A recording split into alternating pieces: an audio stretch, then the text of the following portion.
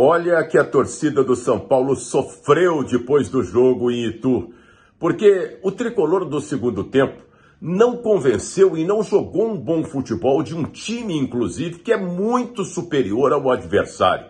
É tão ruim esse Ituano que ele caiu para a Série B. E o São Paulo não soube impor a sua superioridade. Acabou sofrendo o um empate no finalzinho, 2 a 2 e a consequente desclassificação para as quartas de final.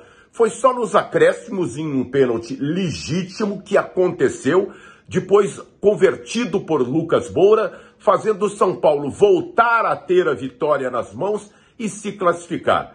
Pega o Novo Horizontino com a vantagem de jogar no Morumbi, mas está acendido, ligado o sinal amarelo para o tricolor. Precisa melhorar, hein?